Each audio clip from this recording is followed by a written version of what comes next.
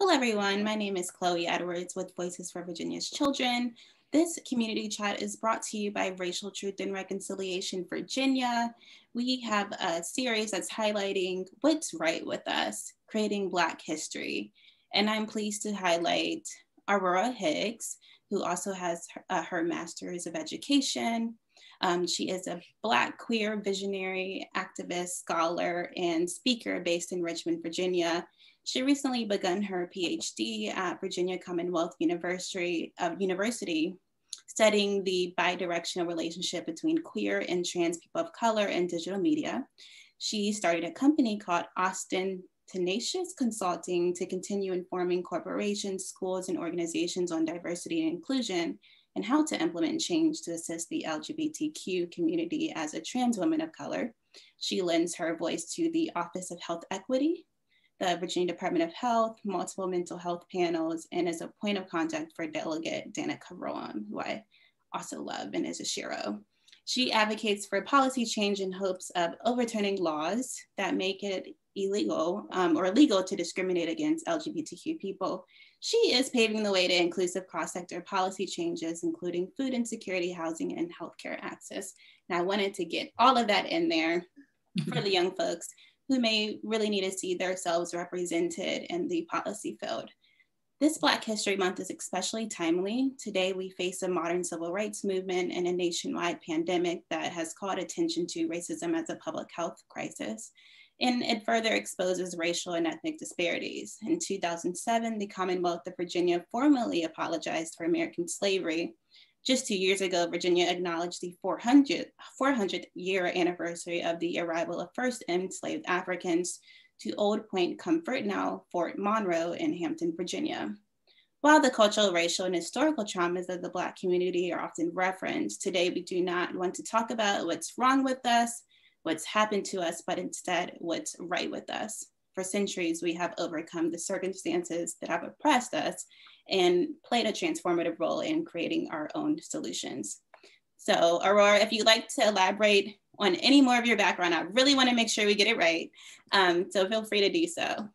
Yeah, thank you so much. And I'm I'm sorry to make you say such a mouthful, but I mean, the nature of my work is that I'm a black trans woman in a world that has so little representation that I sort of feel moved to represent myself in every facet of society I can move in. Um, and thank you for bringing up my business. I actually just changed the name of my business from Austyn Tacious Consulting to Borealis Consulting. Um, and I uh, do keynotes and lectures, and um, I do some consulting here and there, but um, I really just am trying to blaze a trail for trans people in every space that I find myself in um, because there currently are so few for us to follow. So um, thank you for saying all of that and I'm honored to be here. It's certainly not too much of a mouthful. I'm the kind of person that's like, if you got it, flaunt it, uh, because I know that there's been a lot to, that you've had to overcome to be represented in all of those spaces. So let's start off by you told it you've told us a little about yourself but what's led to you in this moment of history today? If you had to really pick a moment in your life i often say that destiny is shaped by purpose pain passion or opportunity. And so if you had to hone in on a moment what what has led you to the spaces you are represented in today? Yeah that's a really good question. Um in a lot of ways i honestly feel like I, could not have been in any other space um, in the one that I'm in now um, because I sort of organically found myself here. Um, I've always been someone who has been, for better or worse, outspoken. Um, I'd like to think for the better. Um, my mother is definitely the person who has taught me to just be genuine. And also when you're angry and you have feedback for the community tell the community and give them the opportunity to rise to the challenge. Uh, so i really credit my parents for raising somebody and um, who is not afraid to share their opinion. Um, and my parents are very opinionated people Uh, and I, you know, I gleaned that from them. Um, one of the things that I think of when it comes to how I got here is um, I was a biracial um, queer kid born in the former uh, capital of the Confederacy. Um, and so growing up, I've always known that I was different. And I'm very used to not fitting into um, boxes or categories. Um, I think that there's a lot expected of um, people, and there's a lot of stereotypes and preconceived notions that are waiting for someone who is a, you know, a, a person of color in general. But then when you start intersecting person of color with a white parent um, and growing up with, you know, biracial parents and uh, someone who is queer and has known that they were queer for a very long time, I've never um, I've never had the opportunity to follow anyone's rules because none of the rules were written for somebody who looked and um, identified as I do. Um, even within the Black community, I haven't found a lot of spaces or people who look and sound like me um, up until very recently. And I'm very, very fortunate to have um, Black and trans uh, and queer role models but I just think of growing up as somebody who felt left out by society, but also felt that society was doing a disservice to them. And I I knew that it was happening to me, but when I realized that it was happening to people who look like me and were also maybe less fortunate than I was or didn't have as many resources as I am fortunate enough to have, that's when I kind of was like, well, enough is enough. I, I have to do something because if I leave this world without having made it more accessible for others coming after me, then I would not have felt personally fulfilled um, in my, uh, you know, my life goals.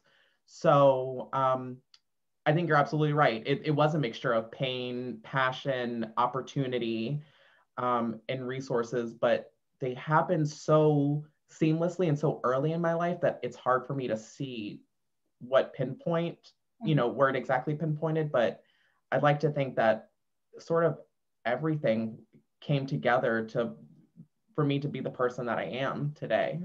Um, kind of a vague answer, but I, I just I, I'm I'm really interested in representing to the world who I am and people who um, relate to me, but may also still be very different from me do, would you say you have a a memory that sticks with you that kind of served as the catalyst for like i'm not going to follow the status quo. I'm going to continue to to change the the pave pave a different way for other people? Yeah. Yeah i guess i guess when i think about my work in uh, advocacy and activism um, there was this one time I went to a camp. Uh, it was like a summer camp program that the Virginia um, Virginia Center for Inclusive Communities, um, that's run by Jonathan Zur now. Um, I remember going uh, to this program and not really knowing what to expect. Um, and when I got there, we i noticed that we were all separated by race um, at the lunch tables. And little did i know this was um, very intentional by the organization. And it was sort of a social experiment that they were running. And they wanted to see you know what our group would do when we noticed um, this sort of siloing uh, this racial siloing.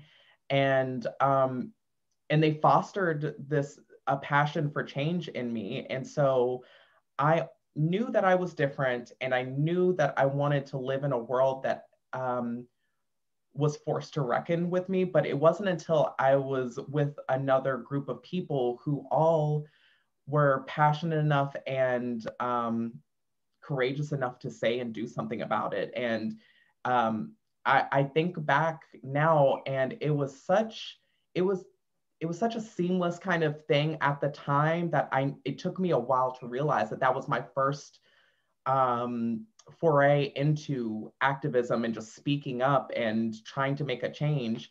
Um, and after that, I left um, and started college. And when I was in college, it was the first time that I was out on my own and didn't have my um, normal support um, structure around me.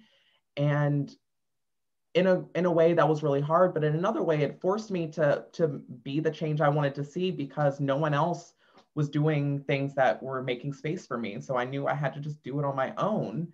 Um, and that was before I even transitioned. Um, I I transitioned from um, uh, male to female in 2018, so uh, a little over two and a half years now, and I was already outspoken about and trying to advocate for the queer community, but it was this new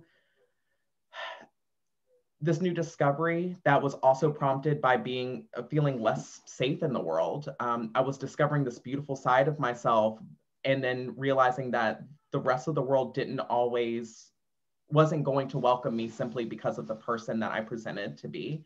So um, partially, I'd say it was that summer camp, but then every year where I was discovering more and more of who I am, I just I had to make space for myself because I refused to be um, discounted. Uh, just uh, there was no one to advocate for me but me. So um, yeah, it, it's been it's hard to pinpoint, but I would say that camp and the year I transitioned. Mm-hmm. So Congressman um, John Congressman John Lewis often talks about get trouble, and, and I wish he didn't have to cause trouble in the first place to make a change. But would you say there's a hero that keeps you motivated, that showed you all that's possible and what you can become? And if so, who is it? Yeah, this one's, I've been asked this before, and um, it's hard because I'm a Black trans femme, and there really are not a lot, um, or there haven't been a lot of people represented in that arena. But, um, you know, I definitely look to people like uh, Danica Roem, um, uh, who is the first um, openly trans elected official in Virginia, and uh, and I see the the work that she's doing, and I um, and I want to do similar work, but you know, no no shade to Danica, but Danica is still a white woman, and so I still was not seeing Black women of trans experience in the places that I was finding myself um, until, you know, fairly recently. And some of the people that I think of now that I really look up to are, um, I mean, well, the late and great um, Marsha P. Johnson and Sylvia Rivera, who were two um, non binary people of color who prompted a lot of the LGBT liberation that we are enjoying today.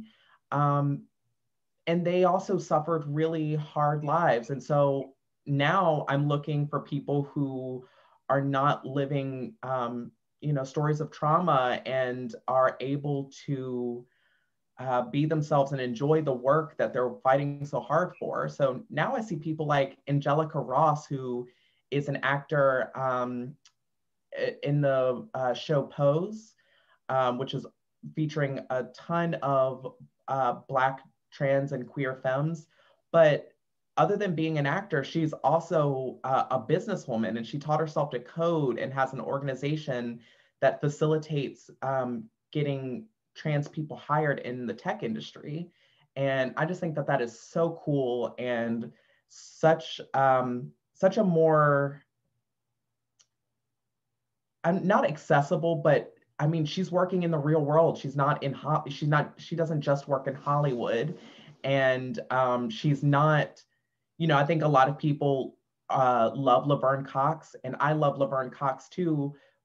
And in a lot of ways, Laverne doesn't feel like an accessible mentor for me, but in the same way that Angelica Ross is, who is a Black woman who um, is working in business, and you know, I I don't know, I I I'm so honored to have people like her, MJ Rodriguez, Indya Moore, Marsha, I, um, Miss Major, um, all Black trans femmes who are doing really cool work and have um, and grace society by being and playing um, characters for us in television to look up to as well, even in the fictional scene. I think that brings us to our next question, which is how are you contributing to Black history? Is it is there something historical that you've achieved, whether in your family or in the community? I feel like it, it's hard to imagine today that we are literally uh, contributing to history, but we are in a modern civil rights movement, and essentially we are. So, yeah, um, you know, I it's hard for me to brag on myself, but it's something I'm working on, and I'm committed to learning how to brag about myself because I think that's something we all have to do and be more comfortable with. And I think self advocacy is super important. Um, you know, I I'm the first person in my family to go to college, let alone have a master's degree and be working on a PhD right now. Um, I am. I was honored as one uh, as a um, agent of change by the Virginia Museum of History and Culture, um, celebrating the uh, bicentennial of the women's suffrage movement, and doing so in a way that doesn't just honor the the struggles and triumphs of cisgender women, but but women and femmes across the spectrum. Um, I am on the board of the Virginia League of Planned Parenthood, and I work to ensure that Black trans people are um, seen and reckoned with. Um, and so I, am on the subcommittee for the medical advisory um, subcommittee there, and I want to ensure that when trans people seek out Planned Parenthood, which is already an amazingly progressive organization, that they seen that they feel seen um, at every single level. And I'm also a patient of Planned Parenthood, so I know intimately what it's like to be a stakeholder for the organization. Um, so I'm just I'm really proud to be a part of that and to be um, progressing public health for trans people, even though my profession isn't in public health. Um, but I am a stakeholder of health as a Black trans woman, and there's so many gaps um, when it comes to uh, just getting your vital records um, changed over for seeking out hormone replacement therapy if that's in the cards for you as a person. Um, and you know i'm starting i've got my llc with borealis consulting and um, whether or not i'm uh, immortalized in history books i feel that i have made history um, in some way shape or form and that's enough for me. Um, i would love to do more. I would love to do even bigger and cooler things and i try not to beat myself up for not you know being there yet but i am an ambitious person and i everything that i'm doing now i feel like is the tip of the iceberg and um, i hope to be doing more. I hope to be able to add to the list of uh, historical things that are happening in richmond or in virginia or in the world. Yeah. I think as black folks oppressed folks and then when you interwove all of the different intersectionalities into it, it's hard to say. I mean, it's easy to say, I could be doing more, but you're doing certainly enough. You're breaking not just glass ceilings, but concrete ceilings, and in many ways, ceilings that didn't even exist in the first place for other individuals in those spaces. So I love your quote that we don't necessarily have to be recognized in history books, but still certainly making subtle history in all of those spaces. Yeah, definitely. Thank you for saying that. I really appreciate it.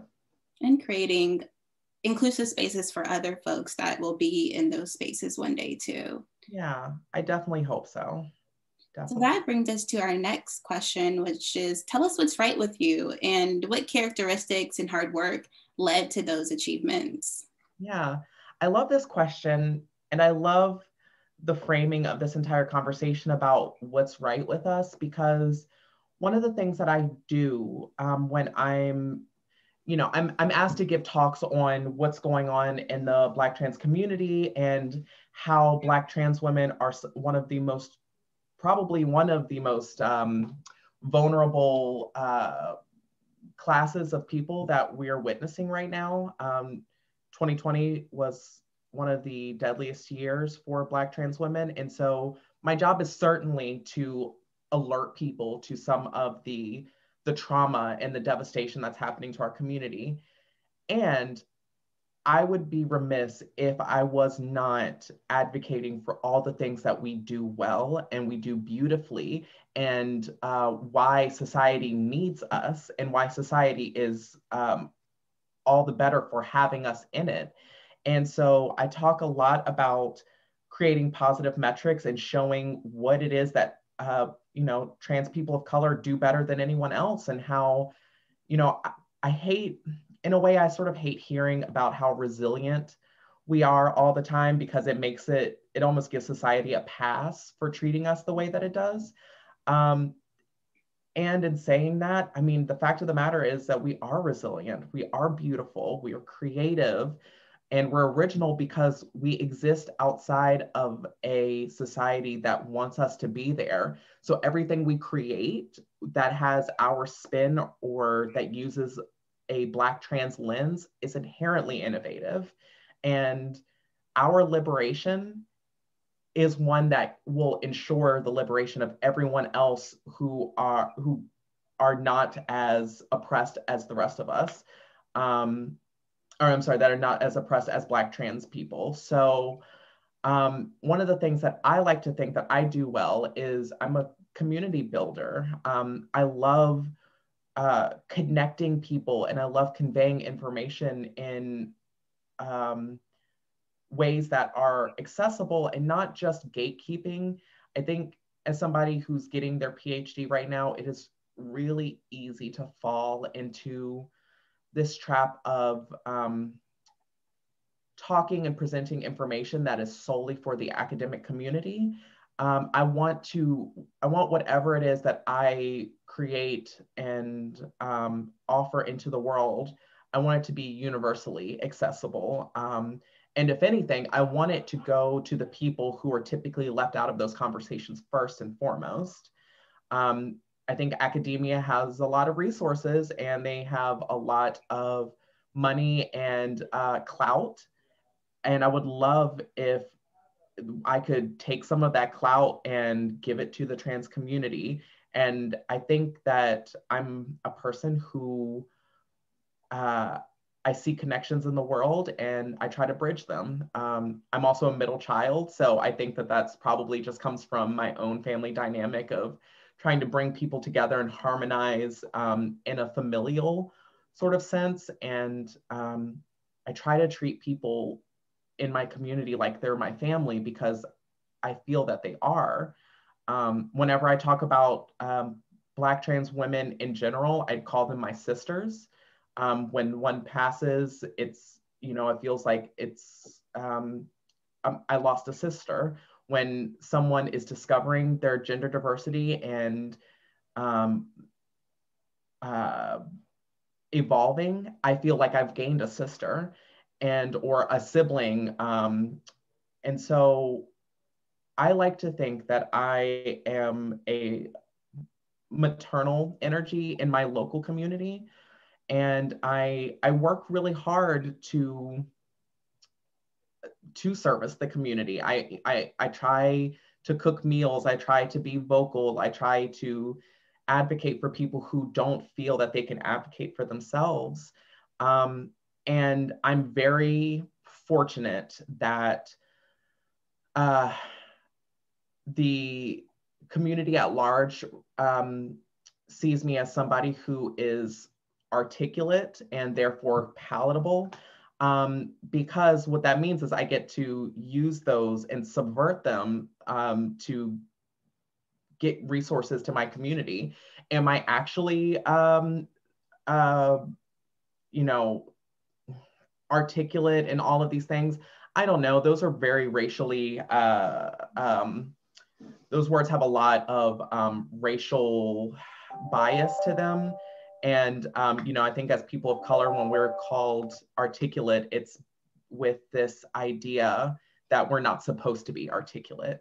And um, I want to change people's minds, but I also want to show people that I'm also the tip of the iceberg. There are people in the Black trans community who are doing way cooler things than I am.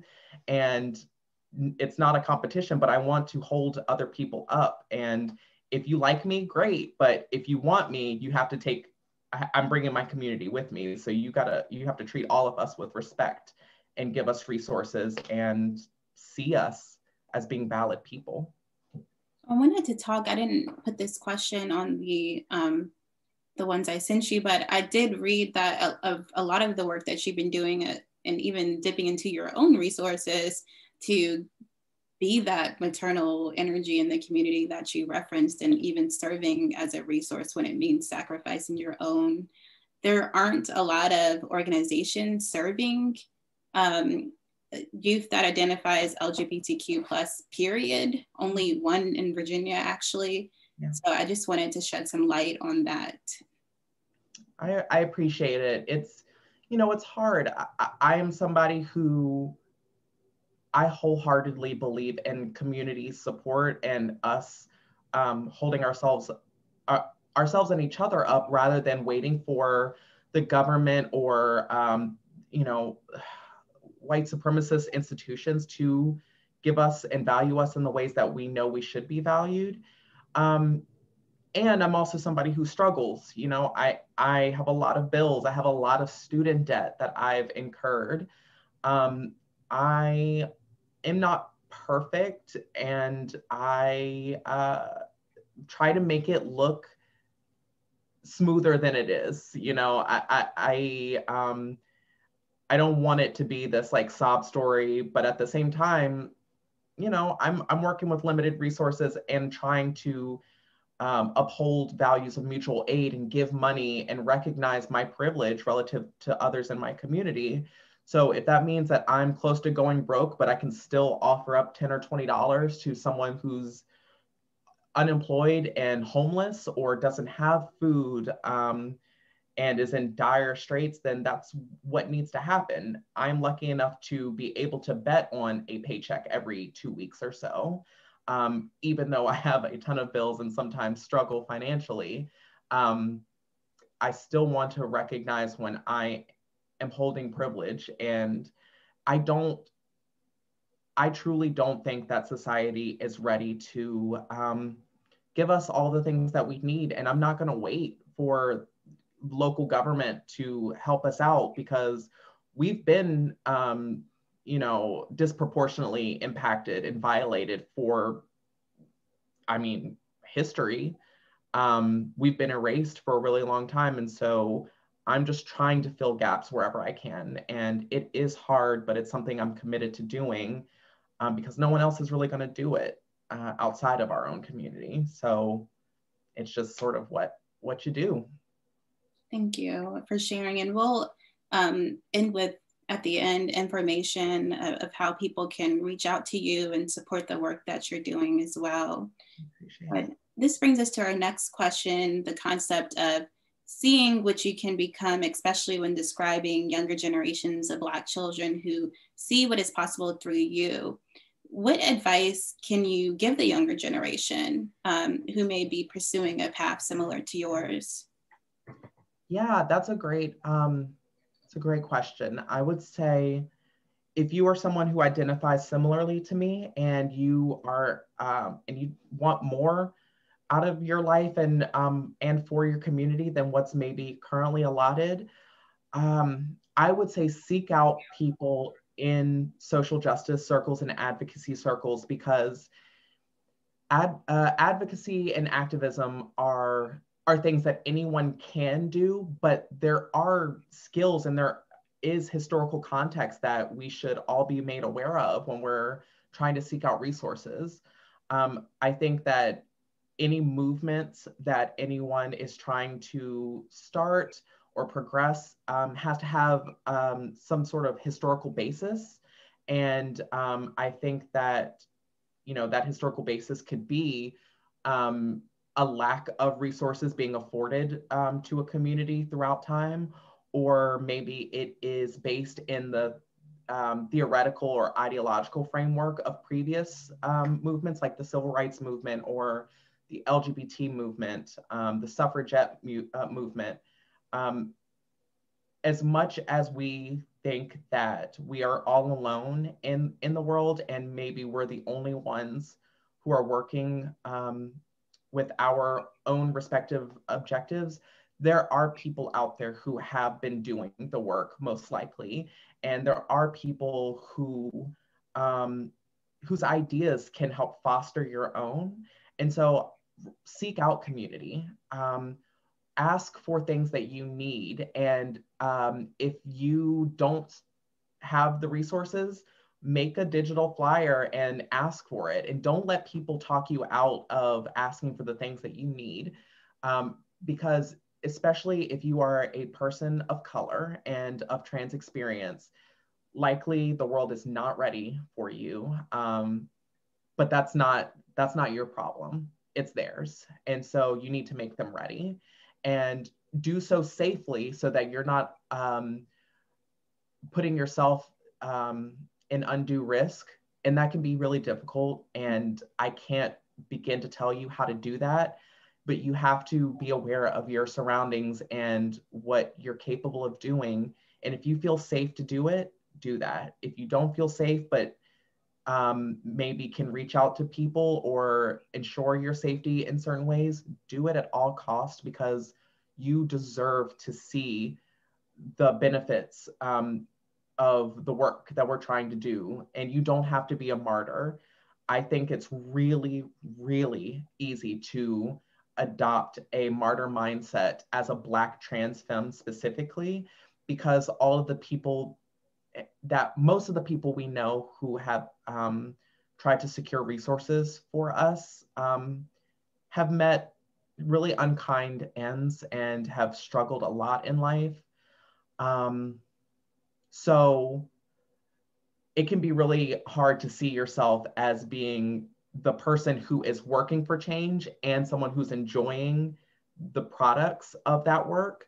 Um, but you also deserve to see and enjoy the fruits of your own labor. Um, so if that means doing your work and asking people to support you financially, you should feel you should feel at least that you deserve that. And so I hope, I genuinely hope that there are people around uh, any of you listening um, who can help you through that. And and if there's not, please find me, please ask me um, if there's anything I can do to make myself a resource to you. Um, if that means seeing me as an older sister or as a mother or a cousin or a good Judy, let me know. Like I'm I'm out here and I'm also somebody who is worried about their own future and the future of their siblings. Um, and I don't want you to be. I, I don't want to be either, but there have been people out there who have lessened the burden for me 100%. I am not at this alone. I'm, I'm, it might seem like I'm doing a lot of cool work, but I can guarantee you none of it has been done in a silo. Um, just find me or find someone who can who can give you the time and the love you need because without love and resources and time the work is so much harder um, and you deserve an easier go at it so that's what I would say. And um, I hope I get to meet as many of my siblings and family out there um, because it's truly, it's truly what makes it worth it. I feel like every time I meet a, a queer person of color, it's like a mini family reunion, and we deserve to be around our family. So there's certainly a lot of familiarity when you see someone that you can relate to in the field or all of people you can relate to in one setting, which is very rare in this field because of how underrepresented Black folks are at tables. But yeah. when I see a Black girl table or um, a siblinghood that I can relate to, it automatically feels like family, and the meetings are so different. It really is. And it's like, it's even if I just, it's like you said, if I uh, see a group of you know people of the black community that's it's it feels freeing. And then to see a group of people who are also as intersectional as you are and feel like they get your life experience is so invaluable in today's world where so few you know of our experiences are readily available and uh, out there for people to connect with. And i'm really excited to see young people even making even more of a difference. Um, i remember advocating in college for inclusive spaces and and thinking that that I was so so young doing it, um, and I knew I wouldn't witness the the reap, reap the benefit of my reward till years later, which is often what we experience when we create history in the making. But what makes you proud of other Black millennials, Generation Z, previous generations? I don't know what the next generation will be called, um, but what makes you proud of them? I I love I love TikTok for a lot of things. And one of those things is seeing Black, queer, trans people um, across the diaspora and across different experiences of transness and queerness being vocal and offering resources to others. I am some of the people that I get my radical notions and strategies from are younger than me and are doing um, and are producing resources left and right on platforms like TikTok, Instagram, um, even Facebook, in the way that people are using Facebook to organize and create groups. Um, I am so proud to be a part of the community that I am because we now have the resources to connect to each other, even if those resources don't make us available to society at the mainstream level we now have a means and and uh, finally a scarcity of stigma by which we can connect and we can learn from each other. Um, I'm so proud of how radical and how outspoken millennials and Gen Z and Gen Alpha, whatever we're going to call them, um, are at you know 12 and 13, and I, just think it's so cool. And um, I can't wait to learn more from the generations that are coming up because, in a lot of ways, I've made compromises in my life just to get by. And I forget how much I live in the mind space of compromise.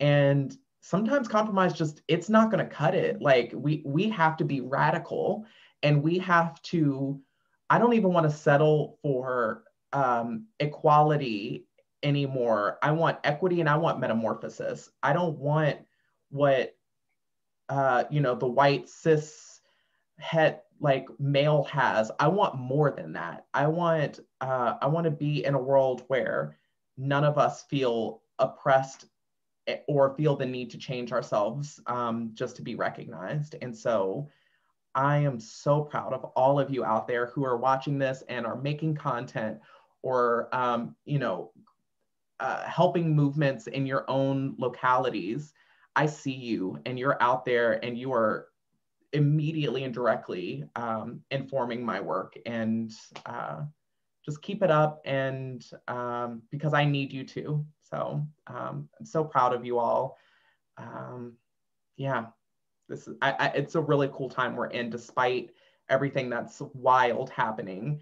Um, if anything, I'm really impressed by all the things that we've managed to do in the last year, despite the quarantine and the the murders and the injustices. Um, mm-hmm. But that's just what we do. Yeah, and Gen Gen Z came ready. They were already hip to technology, so they were ready for the virtuality of the pandemic. But Truly. I always say we have to stop saying um, we're building future leaders of tomorrow. They are leaders today. So props to the younger generation and to the millennials. Sometimes we get a bad rep, but yeah. shaking up good trouble.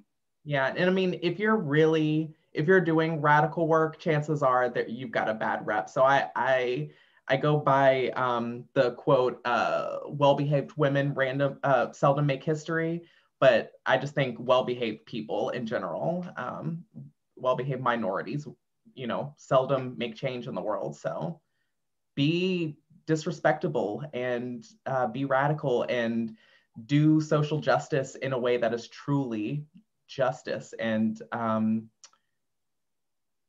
it, and is really making change. We can't settle anymore, and I'm I'm glad to see what we've got next. Well, that brings us to our next question. While Black culture is resilient, mm-hmm. overcoming 400 years of slavery is not easy, and it comes with implications. If you could talk specifically to the younger you during mm-hmm. your struggles and in consideration of the struggles we still face today, what would you tell that younger person? Yeah, I would tell younger Aurora that be kind to yourself um, because you may not realize it yet, but there are so many messages that are coming from years of oppressive institutions that you are directing at yourself and others around you. And, um, you know, live your life. And obviously, you're, there's going to be some sense of recognition around that. But also know that you're not immune to those messages. And it's okay to admit that. Uh, you know 400 year old institutions may have more resources and more power than you do or that you feel that you do right now and forgive yourself for all of the shortcomings that you see um, because truly the world that you live in would rather you not exist in it at all so please know that whenever you find that you don't have the means or a vehicle or you don't have the know-how the savvy to uh, manage your your finances or you feel like you're not doing enough to be visible you're fighting the current. And every inch that you progress is one that needs to be celebrated.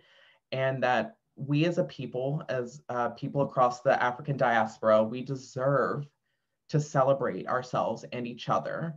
Um, and we're only going to see change and metamorphosis if we start celebrating ourselves and our own community because the nature of white supremacy is such that we can't undo it until we are putting ourselves first and we are respecting ourselves above you know um, the idols that the institution gives us. And you just i mean little aurora has to recognize all the things that are working against her. Not so much so that you give up but in a way that you forgive yourself for every perceived failure. Um, and know that it's not on you. It's not on you completely. It's not your job to have to change the world.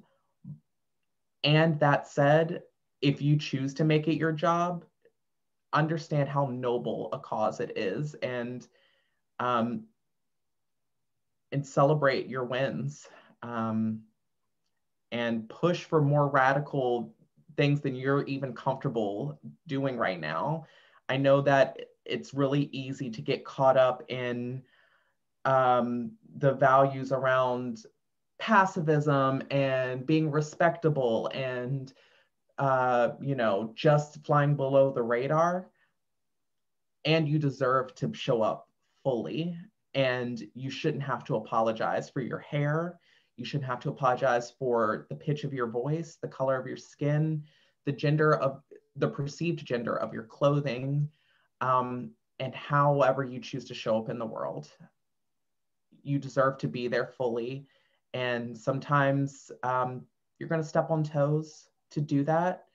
And uh, that's okay. You know, don't don't hurt people, but the institution is not a person and it does not have feelings and it does not deserve to be um, to proliferate more than you do. Uh, if anything, we need to be putting ourselves at the top of our own to-do lists. And that's the only way we're going to make change is by valuing and centering ourselves and each other in these oppressed communities. Thank you. That's a really good point, putting ourselves at the top of our to do list. It brings us to our next question. Dr. Martin Luther King Jr. had a dream back in 1963. and that same March, the March on Washington that he shared that iconic speech just occurred August 28th this, uh, this past year, 2020. Mm-hmm. He said, I have a dream that my four little children will one day live in a nation where they will not be judged by the color of their skin, but by the content of the, their character. What is your dream for the future of Virginia's children specifically, and what kind of investments do you feel we need to make at the local, state, or federal level to make this dream possible? Yeah. Um, mm. So I'm really something about the March. Uh, so August 28th is also my birthday. Um, and so I've always, there's always been this loose connection or just the significance around that, um, that date and that moment in history. Um, and so I am hopeful and I I think that our liberation will not necessarily come out of uh, compromise and coming together of, of, you know, the different races coming together.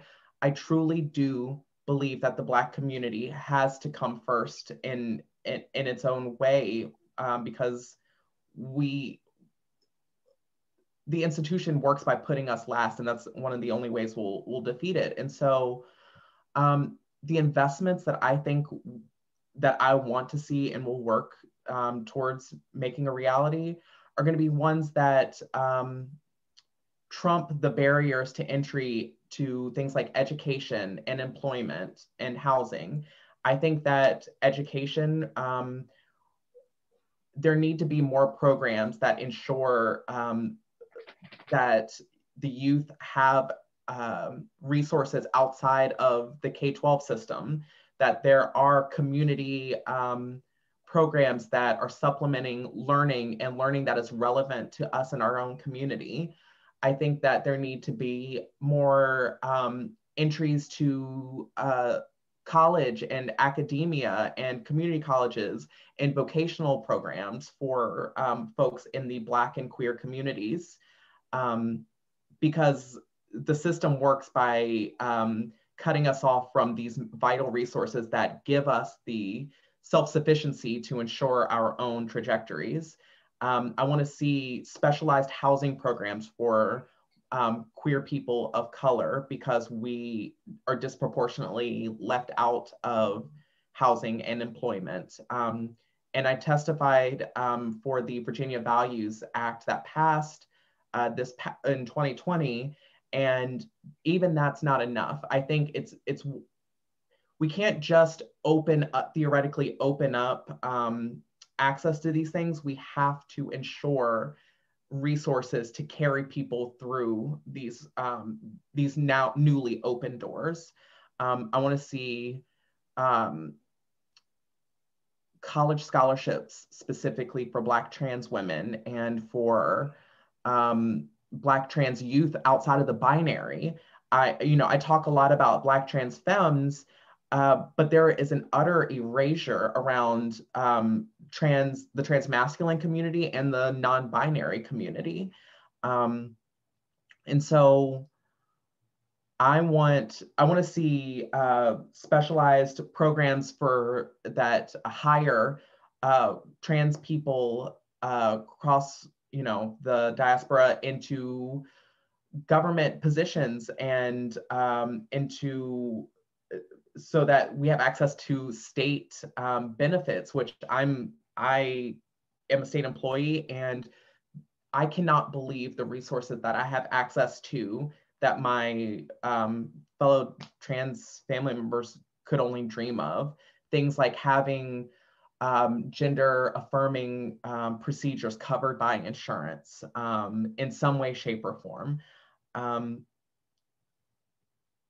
I want to see us represented more in media. I want to see liberatory um, media taken and um, and run with. I want to see more shows like Pose, but I want to see shows that don't just highlight passable and beautiful um, you know, trans people of color. I want to see people who are visibly queer and don't aren't necessarily palatable to um, current standards of beauty. And I want to see us reckoning with them and learning and uh, celebrating um, these communities. So I have a lot that I want to see in the world, but I want to see specific systemic changes at local levels um, because statewide and federal initiatives are great.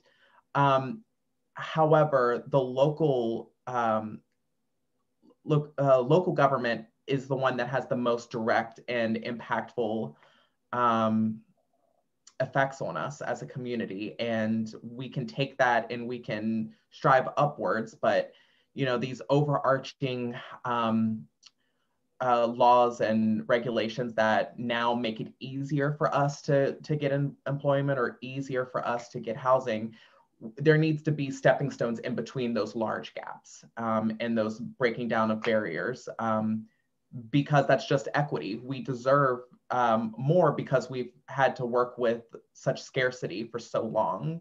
Um, and it's going to take more than the government just sort of making these broad stroke changes. Um, we have to see small scale, direct person to person changes as well. So, um, yeah, I want to see trans specific laws hitting the, the local docket. And I think once we start there and we empower and we um, magnify the voices that are already out there and the power that's already existing, um, then the government, the uh, community will start to take care of itself and each other, um, rather than waiting for the step, the powers that be to mm-hmm. take care of us in this sort of paternalistic model. Gotcha. Thank you for sharing your dream list. Yeah. Is there anything else you'd like to add or, or leave with folks today? Um, I think I said, you know, if you're out there, come find me. Um, but make trouble, like you said. I love that. Be be the trouble you want to see in the world, um, but be safe because, you know, even for all the changes that we could make as people, I still want all of us to be around to see them, and um, I want us to rely on each other and trust each other. Um, yeah that's all I'll say on that for now. Thank you. And where can individuals, if they want to get in touch with you or support your work, what's a good point of contact? Yeah, um, so my you can um, reach out to me for um, uh, bookings or lectures or just to say hi at Aurora Speaks at gmail.com. Um, my Instagram is at Aurora Who Is She. Um, if you you know i'm i'm usually walking around uh, in richmond so if you see me please say hi and if there's anything that i can do to make myself a resource i'm happy to do it um but yeah that's pretty gotcha much. and for general assembly updates or anything about virginia's children and how they're faring you can visit vakids.org or you can contact me chloe c-h-l-o-e at vakids.org Aurora, thank you so much for dropping some gems today. And I really do hope folks reach out to you and follow your work. You're doing incredible work in the community. I really appreciate it. And I hope people reach out as well. And thank you so much for the opportunity.